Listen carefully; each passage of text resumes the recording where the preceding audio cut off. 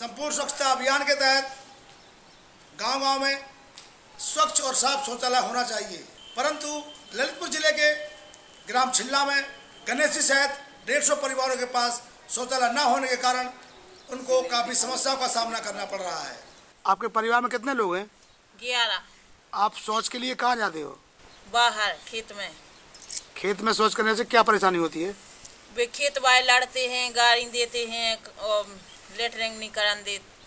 और जे बच्चन की परेशानी है तो वे अब गरीब आदमी है और मजदूरी करे जावे और के इन बच्चन को तीन तीन चार चार साल को लेटरिंग डाल रहे परेशानी है।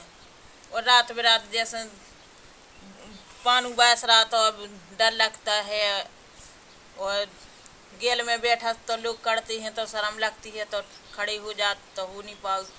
आप क्या चाहते हो?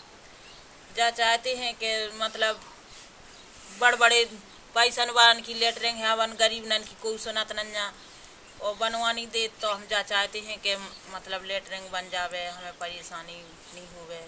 आप शौच के लिए कहाँ जाते हो? बाहर खेतन में जाते हैं काऊ की गाड़ी देत हगर नहीं देत।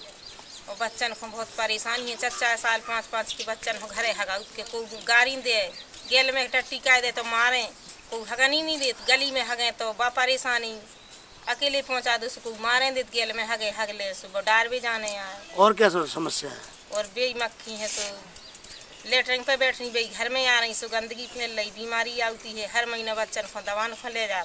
और रात बेरात बंगन बिटियन हो बूढ़े आदमन को लगती है तो नर्दा में हगा हमारे मैं चाहता हूँ कि इनके घरों में शौचालय बने ताकि इनकी समस्या दूर हो सके। इसके लिए आप लोग वृद्धा ब्लॉक के वीडियो के मोबाइल नंबर पर फ़ोन करके दवा बनाएँ।